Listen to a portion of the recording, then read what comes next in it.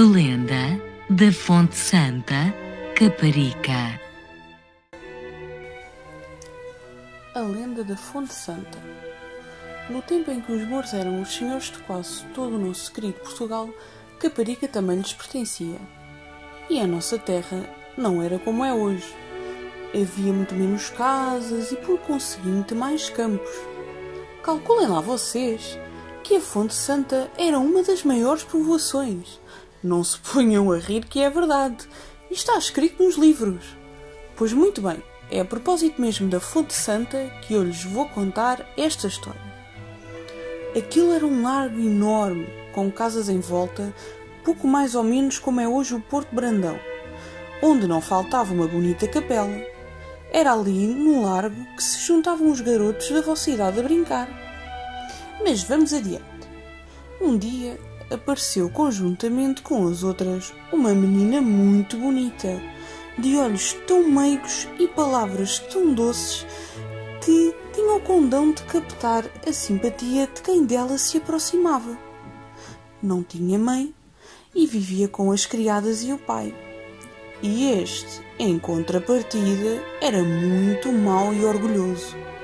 E quando lhe foram dizer que a menina vinha brincar com as outras garotas, ficou furioso e, para castigo, mandou-a encerrar na torre do castelo Picão. Muito chorou a menina, mas nada lhe valeu. As outras meninas, sentindo a sua falta, iam brincar para perto da dita torre para ver se a distraíam. Mas qual que?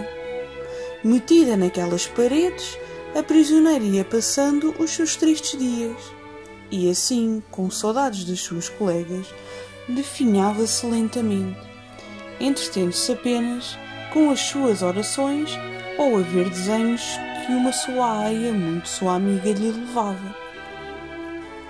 E assim se passaram alguns meses, até que um dia a menina não apareceu às grades da sua prisão.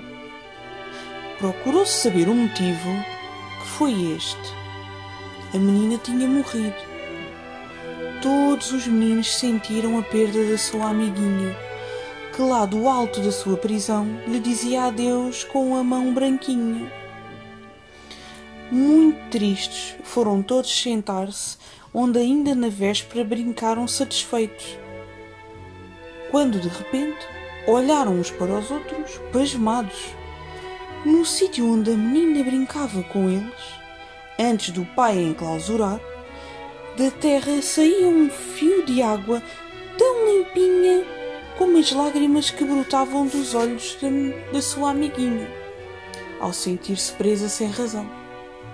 E foi assim que o povo começou a chamar aquele local, recordando aquela bondosa menina, a Fonte da Santa, e que hoje se chama apenas Fonte Santa. Esta é uma das muitas histórias da nossa terra por isso espero que tenham gostado.